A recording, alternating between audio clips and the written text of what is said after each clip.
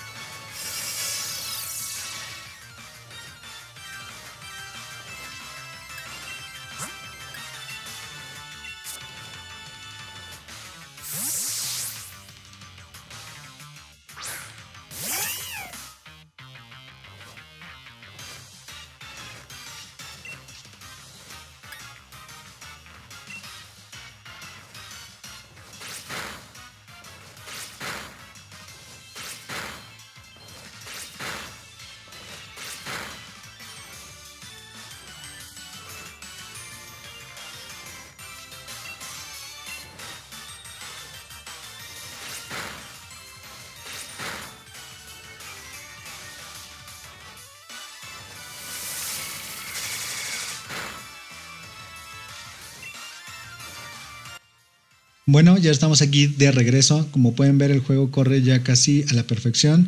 Casi en todo momento se mantiene los 30 FPS estables.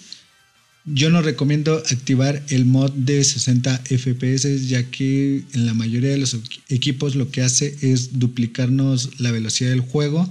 El, juego se acelera, se siente muy rápido y la verdad es que no está muy bueno jugar así. Entonces yo les recomiendo deshabilitar los mods, jugar sin mods a menos de que ustedes necesiten alguno específico, bueno, pues pruébenlo, pero si les causa bajo rendimiento, yo les recomiendo que lo desactiven. De todas maneras, ya saben, déjenme sus comentarios para cualquier duda irla solventando. Veo que todavía hay gente que tiene problemas de emulación con este juego en específico. Lo único que tienen que ir checando son las opciones que yo les dejé de configuración al principio y el video que les voy a dejar en la descripción para configurar Yuzu desde un inicio. Siguiendo cualquiera de las dos ya no deberían de tener problema, deberían de tener un buen rendimiento. Yo lo estoy corriendo en una GTX 1050 Ti de 4 GB, un Core i7 7700HQ, 16 GB de RAM y lo estoy corriendo en un disco mecánico.